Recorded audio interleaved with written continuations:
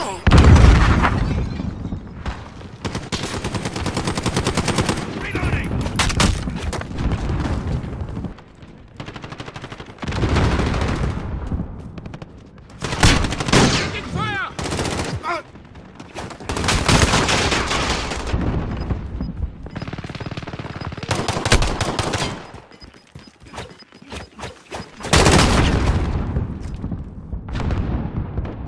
UAV overhead.